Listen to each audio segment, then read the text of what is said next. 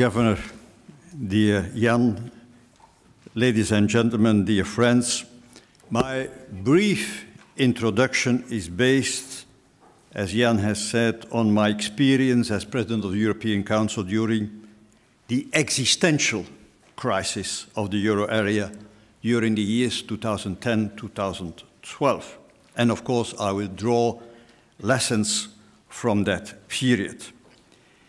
First, a series of uh, reflections on the past, I mean the period before the eruption of the Eurozone crisis. As you know, the Euro was launched without a fully fledged economic and monetary union. There were only two instruments, the European Central Bank and the Stability and Growth Pact. And first and foremost, it was the Euro a political project. The founding fathers of the Euro thought the architecture would be completed later. We know now that meaningful reforms are only decided in crisis times. I come back to this issue later on. The second reflection is the current account of the balance of payments was not a criterion for accession. This prevented the euro area looking at competitiveness and, for instance, private debt related, as we know, to real estate bubbles. My next sentence is very carefully drafted. The composition of the euro area would have been different if this criterion of the current account of the balance of payments had been taken into account. That is very, very diplomatic way of uh, speaking. Third reflection, the credibility of the Stability and Growth Pact was undermined in 2002 under pressure from Germany and France. The EU institutions could never again adequately play their role as guardian of fiscal discipline. And this lack of supervision allowed the situation in some countries to get out of hand. The financial markets. The financial markets remain blind regarding, regarding imbalances in some countries during the first decade of the euro. It changed afterwards.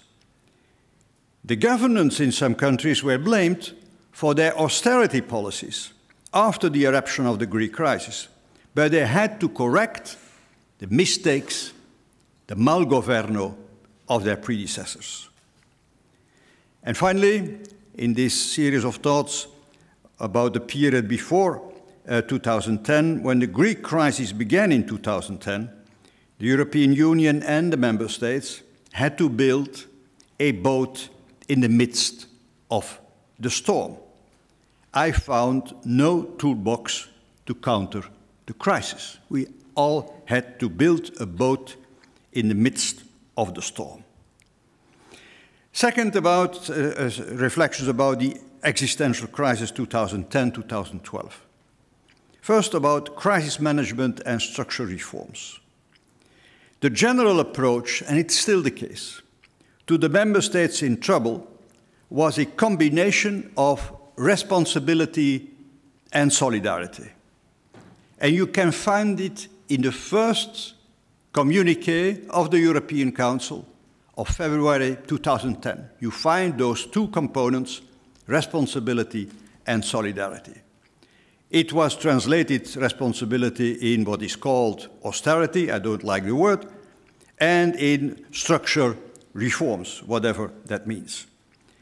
And it was translated, uh, when I'm speaking about solidarity, uh, in the European Financial Stabilization Mechanism, the EF, SM and the European Stability Mechanism, the ESM.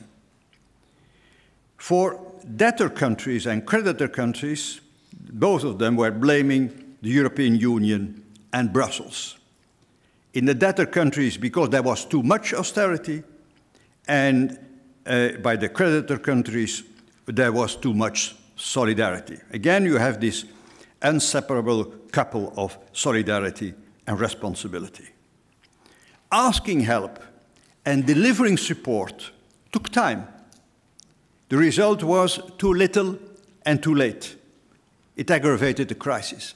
Never forget that the crisis lasted almost three years from the beginning of 2010 until the end of 2012. From March 2010 on, the European Council decided on a long-term strategy to strengthen the governance of the Eurozone. So from the beginning of the crisis, we took that initiative, and not only, we were not only concerned with crisis management. I was asked to draft a report uh, on uh, the governance of the euro area in March 2010, and I delivered the report in October 2010. And you had, based on that report, uh, the six pack and the two pack legislation on revising and completing the uh, Stability and Growth Pact. And later on, you had the so called fiscal compact, as Mario Draghi called it, the Fiscal Stability Treaty or the TSCG eh, uh, in the period 2011 2012. So, long term was a concern from the start on. Second, the financial markets became hypersensitive this time and reacted out of proportion post 2010 after a long period of passivity. Each reform decided by the European Council and the EU institutions was considered by them as not enough. The decision of the ECOFIN of May 2010 was, on the other hand, seen as ahead of the curve you remember the decision with the 500 billion euros for the EFSF and the 250, 20, 250 billion coming from the IMF. This was considered as ahead of the curve.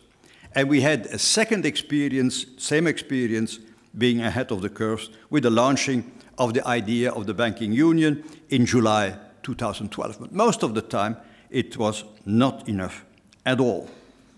The financial markets lost confidence after what is called Deauville, October 2010, and the proposal of a PSI of private sector involvement. Although, I have to add, a haircut on the Greek public debt was decided a year later, in 2011, and bail-in was introduced in the resolution mechanism in 2013. But at that very moment, October 2010, Deauville was considered as uh, destabilizing. The crisis in the Eurozone was tackled for too long as if the euro area was only the sum of the member states, ignoring the systemic dimension of the crisis. If every member state puts its house in order, it would save the currency. That was the, let's say, mainstream uh, opinion. The systemic, purely European dimension of the crisis was only fully recognized in May June 2012 with the four presidents' report and the decision on the banking union a month later. What was the role of EU institutions in this existential crisis of the euro area? The European Council and the Eurozone summits were in the driving seat. Why? Because the EFSM and the ESM involved national taxpayers' money and because the very existence of the euro and of the union itself was at stake. For those two reasons, it became what is called in German Chefsache. So crisis management of the eurozone was Chefsache until the end of 2012. The European Council asked the President of the European Commission because for a report on governments and on a genuine EMU because they wanted that they want to keep the ownership of the process. The first report provided a key role, by the way, for the Commission in implementing the new rules, so that you have a paradox. An intergovernmental body, the European Council, gave new competencies to a community institution. The tensions between the Commission and the ECB in 2010 brought the IMF into the game, which was a blow for the European Union. In a later stadium, the IMF became itself a problem for the two other Troika members. The ECB took non standard measures after the political leaders were ready to take unprecedented steps, uh, and that was the case, Uh, those unprecedented steps in 2010 with the launching of the EFSF, and of course the banking union in 2012. Each time we had to show that we were courageous, and then the European Central Bank took non standard measures. The action of the ECB in the summer of 2012 was, of course, a turning point in the crisis. But the US and the UK told us that the action of their central banks helped them to overcome the crisis in their countries much earlier than in the European Union. President Obama and his Minister of Finance, Timothy Geithner, put heavy pressure on the EU in that sense, asking for more intervention of the, uh, of the European Central Bank, and they asked it especially in the famous G20 meeting in Cannes in November 2011. The Franco German motor, once called the Merkozy, worked until the end of 2011. This does not mean that they didn't make mistakes. You had Deauville, and you had in Cannes also uh, an attempt to push Italy to ask a precautionary line from the IMF, which was prevented by other actors in the Eurozone. And you had this Franco German motor, but the the single supervising mechanism, the SSM, the SSM, was decided in June 2012 without a Franco-German pre-cooked agreement. And this was a decisive moment in the crisis, together, as I said, with the action taken by the ECB. Third series of reflections in this uh, chapter of the of the existential crisis, the policies. The Troika and Germany were blamed that they put too much emphasis on a rapid fiscal consolidation and that this deepened the crisis too much and raised unemployment dramatically.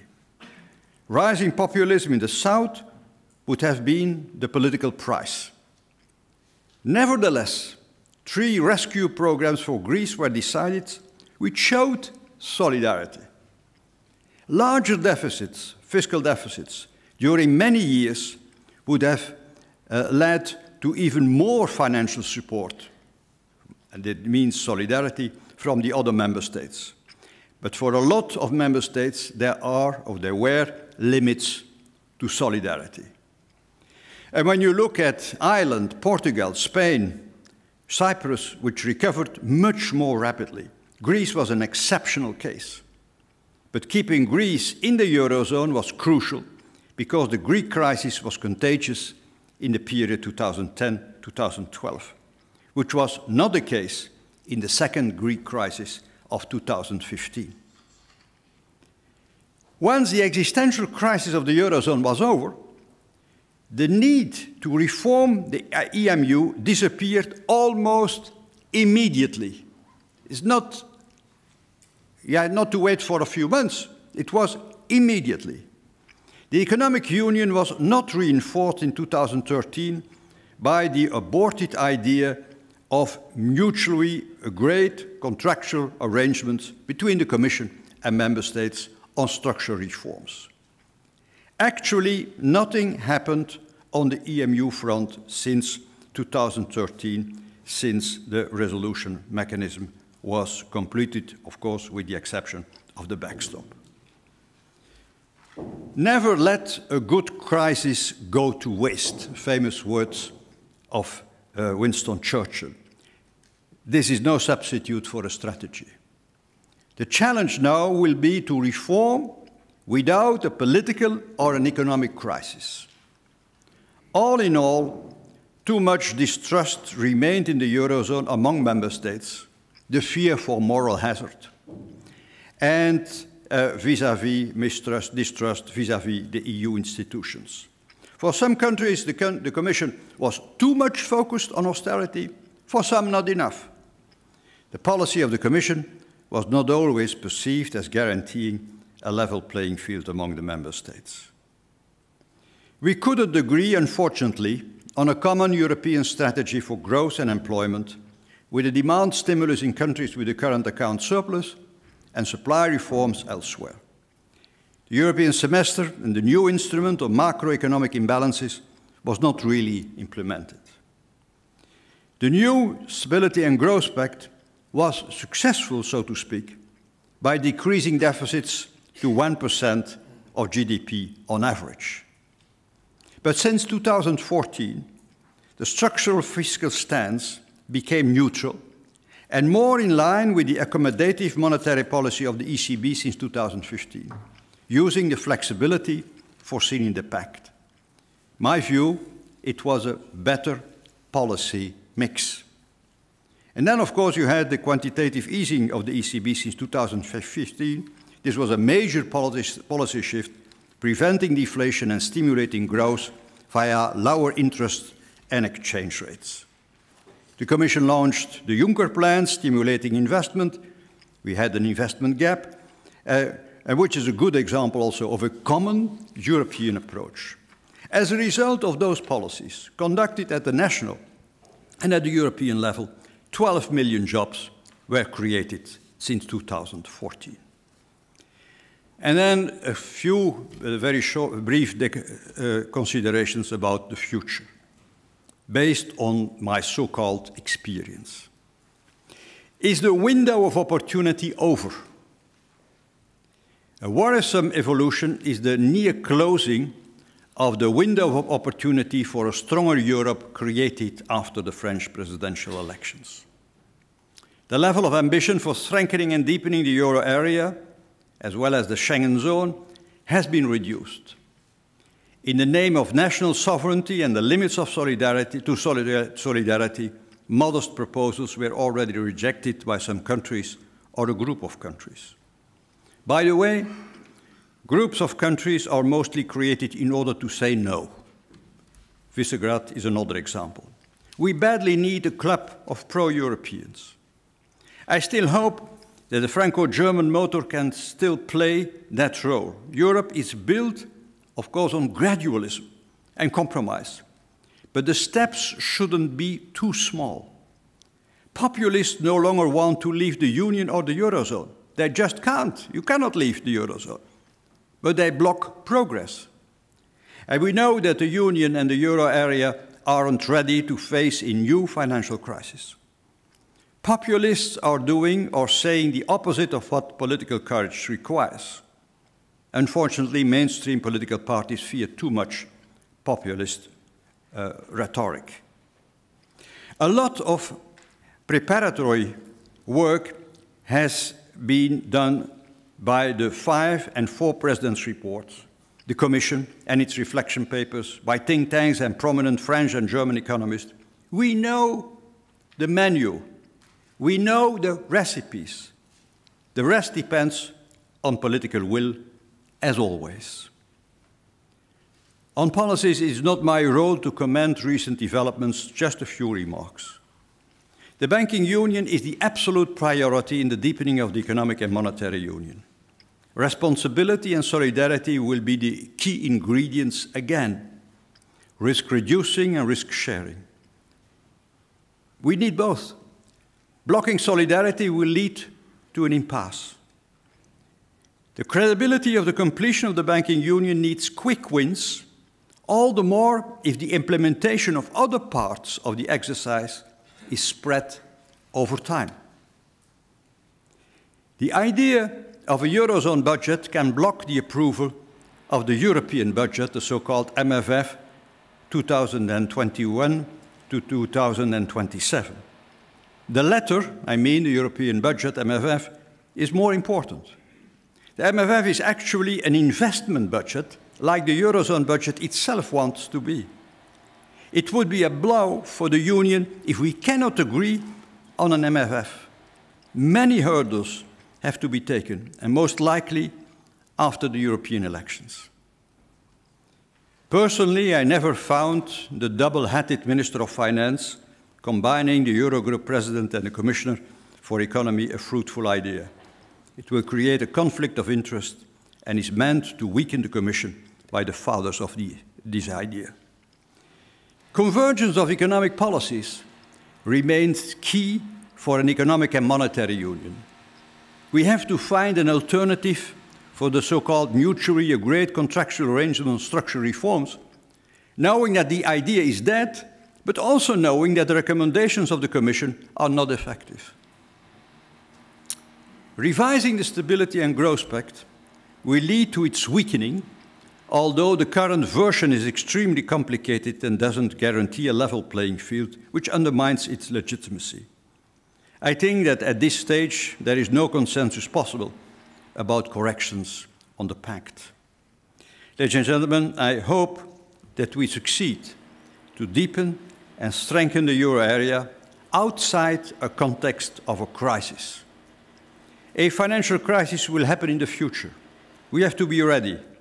We shouldn't build a boat in the storm again. Thank you so much.